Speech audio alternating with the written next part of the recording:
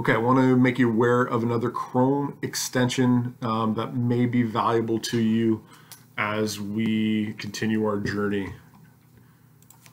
So I'm going to look up Grid View.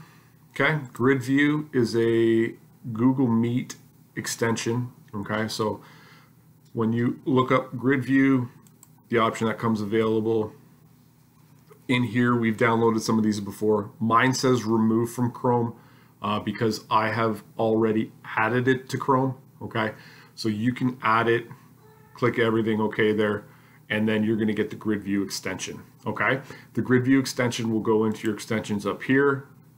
Mine is already there.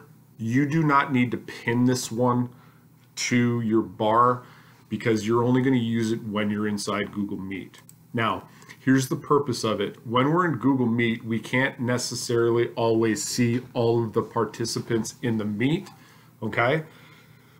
Grid View will allow you to do that. So depending upon how many people you have in here, it works a little bit like the Zoom call when it will populate your screen and as more people go on, it will make the windows smaller and smaller and smaller and smaller.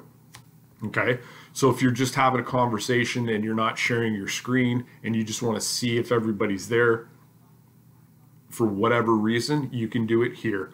Let me show you what it looks like. So I'm going to jump on and do a Google Meets here.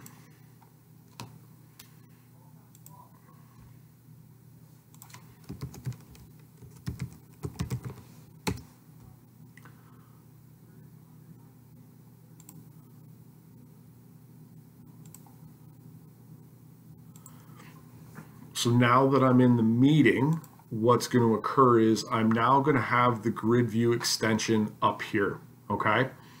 So this is the grid view extension. When you put your cursor over it, you get a lot of options available to you.